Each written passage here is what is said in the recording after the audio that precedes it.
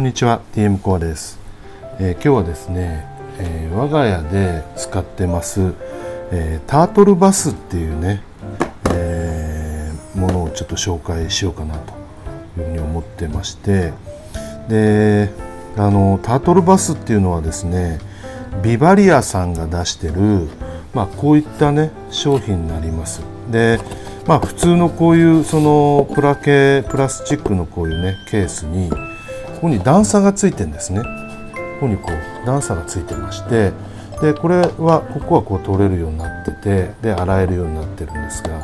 ここにこうあの陸地がもうすでについてる状態でここにちょっと滑り止めのガタガタっていうかね爪が引っかかるようなものがついててえー、まあここに水を張ってバスキングとかね背中かあの甲羅干ししたい時はここに上がってくると。でえっ、ー、とまあこれは便利だなということで私もですねこの、えー、今ね箱亀の三つ指箱亀をねこう飼育してるわけなんですがあのとりあえずこの今水飼育これからねちょっとそのあの陸飼育に変えようかと思ってるんですが今のところちょっと水飼育であのやってるもんですから、まあ、こういったねものがあると非常に便利と。いうことで、あのー、まあ、これを購入しました。でこの種類はですね今うちにあるのはこの3種類になります。でこの一番小さいのがタートルバスの250っていうね、えー、シリーズになってここの幅がですね250 25センチっていうサイズです。でこちらが310 31センチですね。でこれ今メインで使ってます。でこの一番大きいのがこれ385っていうね、えー、38センチのタイプ。当然ですがここが一番ねこれが一番この水深も深くできるタイプのものになります。であのー、この上にですねもう一つ大きいのがあってですね575っていうのがあります。57センチ57.5センチのこれよりも約20センチぐらい大きいものになりますんでこうそれはねちょっとまあ一般的にはあんまりそこまで必要ないかなっていう。そこまで大きいんであればもう別にこれである必要ないのかなというふうに思ってそれは買ってません。であのー、まあこの385っていうのはねちょっと大きめの、えー、カメを買う時にはこれがあるといいのかなと。でもう本当にベビー1 0センチ以下ぐらいのねベビーの、えー、個体であればこの310 31センチのこのタイプで十分なのかなというふうに思いますね。今このねあのサイズはもうこんなぐらいのサイズなんで、えー、あんまり深いともうそれこそ足届かなくなったり息吸えなくなっちゃったりするんでもう十分このぐらいのサイズで十分かと思われます。こっちに前からいたたの個体もねこのぐらいの大きさなんであのちょっとこっちだとね深すぎちゃうかなっていう感じですね。まあ箱亀なんでね。これが水性亀だったら全然これでも問題ないかと思いますね。でこっちはねもっとさらにちっちゃいベビーなんかとだったらいいのかなと思いますしうちはねここに餌やる時にこれ使ったりしてるんですね餌をここにベロッと巻いてでここでこの中に入れちゃうとこの水がだいぶ汚れたりとかするんでここに別に取ってここにねこうやってこのこの子こうやって入れてでここに餌を入れてあげるっていう形を取ると、えー、まああの水が汚れなくて済むっていう状態ですねになります。まあ、あとですねちょっとサイズ的なところを、えー、ちょっとご紹介しておこうかなと思うんですがさっき言いましたようにこれは250は、えー、ここが25センチなんですね。ここが25センチでこの奥行きが、えー、18、えー、17センチ。奥行き17センチですね。で全体の深さが10 11センチぐらい。でこの水が溜まる部分の深さがですねまあ、2センチぐらいですね。これは2センチぐらい。でこっちの310 310はここが31センチ。でこれもう本当にね縁までが31センチです。中は少しこうなってるんでもうちょっとこの下の部分では小さくなると思うんですけどこの一番広いところで31センチ。でこの奥行きが24センチですね。でこの、えー、ここの深さ、えー、全体の深さが、えー、14センチ14センチぐらいかな？14センチ。それとあとこの、えー、水が溜まる部分の深さが3センチですね。これが3センチ。でじゃああとこの一番大きいの。これはですねここが、えー30えー、38.5ですね。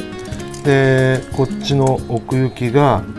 えー、20まあ約3030 30ですね。30とそれとこの、えー、全体の深さ深さが、えー、16.5ぐらいかな。まあ、16.5ですね。16.5とあとこの水が溜まる部分の深さ。水の溜まる部分のここの部分ですね。この深さが、えー、大体大体ですけど4センチぐらい。4センチぐらいですね。っていう感じの、えー、サイズ感になりますね。さっきも言ったみたいにちょっとねこうこれ自体を少し何かをここにかませてねこういうふうにしてあげるとさらに水深が稼げるっていう形になりますね。完全に水性タイプの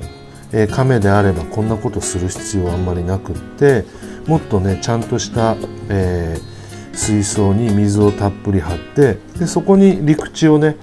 あの浮くタイプのあの陸地だとかこういう壁面に吸盤でくっつけるようなタイプの陸地なんかがあると思うんですが、まあ、そこまでこうあの箱亀なんかはそこまでねあの水性傾向が強くない亀なのでどちらかというと陸性傾向が強い亀になりますんでね。あのあんまり水は必要ない。むしろあんまり水があると溺れ死んじゃうという状態になるのでベビーね。ベビーの飼育には本当にうっすらと、えー、水を、えー、張ってですね本当にちっちゃなベビーを、まあ、こういったところでね、えー、薄く水を張ってここに上がれるような形にしてあげると飼いやすいのかな何よりもこれはですね軽くて、あのー、普通のガラス水槽とかちょっとしっかりした水槽なんかと比べるとあのすごく軽いですし、まあ、パッとこう汚れたらささっと洗ってもう水パパッと入れてまた入れ直すという形でもうあの気が付いたらすぐ水替えができるっていうメリットがありますね。まあ、非常にこれがね、あの使いやすいですね。で私はですねここにこんな感じでこれあの100均で売ってるあの鉢底ネットです。鉢底ネットを両面テープでこう貼ってあってで滑りにくくしてる状態ですね。でこれやこれやっとくとここに登ってくる時にもですね爪がしっかり引っかかるんであのきちっと上にね登ってきやすいという状態とあと万が一ここでねあのひっくり返っちゃったりとかしてもあの爪が引っかかるんでくるっとまた元にね戻りやすいかなということでまあこういった形でね鉢底ネットっていうのを使ってます。でそれとあと実際はこれをあのこうやってそのまんまフラットに置くんじゃなくてちょっとこういうふうにねここにちょっとかませて若干ちょっとこう傾斜をつけて、えー、置いてます。でそうするとここの部分の水の水深もですねあのー、傾斜がついて深く、えー甲羅の全部をね、えー、に埋まりたいっていう時はこっち側に行くでしょうし、えー、まあそんなにね深いところに行きたくないっていう時はこっち側に来れる。まあ亀に選択させるっていう形でやってます。その方がより安全かなというふうには思いますね。まあこれがねあのタートルバスっていうそのまあ優れものの商品なんですけどあのこのね310この210っていうのはもうあじゃこの210じゃない250 250っていうのはもう大体結構どこでも売ってます。どこでもっていうか、まあ、通販でも売ってますし、えー、爬虫類ショップでも売ってます。まあこれ私も爬虫類ショップでこれとこれは爬虫類ショップで買ったんですがこれが700円だったかな。700円とこっちの、えー、310が、えー、1400円700円と1400円で、えー、買いました。で、えー、なかなかですねこの385っていうのはあんまり売ってなくてですねもうなんかちょっと聞いた話では廃盤になったんじゃないかっていう話です。で、えー、インターネットでいろいろ通販で見ても385はね比較的売ってるところが少なくてまああまりこう在庫してないと。もう在庫終わったらもうおしまいよっていうところが結構ある感じですね。なのでこれ見つけたらこれ買いだと思います。これをえー、買っとくともうもしかしてもうこのまま作られないのかまた再販されるのかちょっとわからないですがちょうど使いやすいサイズのこの385っていうねこの上になっちゃうとちょっともう本当にブリーダーだったりとかものすごい大きな亀を飼ってらっしゃる方が使うものになってくると思うんでこのサイズがまあ一般的にね使えるサイズとしてはちょうどいいサイズになってくるのかなと思うんで385をね私本当はねたくさん欲しかったんですけどあのー、まああんまりね、えー、ショップでは売ってなくてネットで調べて、えー、購入することができたんでもしねネットであったらこれを買いだと思います。比較的買いなんでまた、えー、ちょっと注文しようかなと。これでね3800円ぐらいか送料込みで3800円ぐらいだったかな。えー、送料込みだともうちょっと高いんだ。これが3850円でえー、で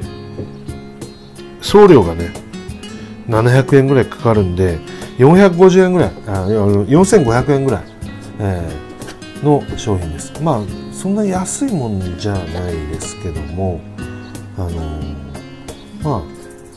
これだったらねささっと水替えができたりとかするんで、えー、いいのかなっていうふうに思いますね。でこれも、えー、これはね結構安い1400円で買えたんでこのサイズで良ければ比較的、え、安く、え、あるのかな。ただ310もだいぶもう品薄になってきてますね。で色はねこのなんかちょっと黒っぽい色とこの透明な感じの白っぽい色とこの2種類あります。はいこんな感じで、えー、我が家ではね、えー、箱亀をこのタートルバスというねこういうそのケースで飼育してますよと。なおかつこれはすごく、えー、優れもんでもし廃盤だとすればですねビバリアさんもう一度これをねあの再販していただきたいなというふうに思っております。これ蓋はないです。蓋はないんです。これ蓋オープンですね。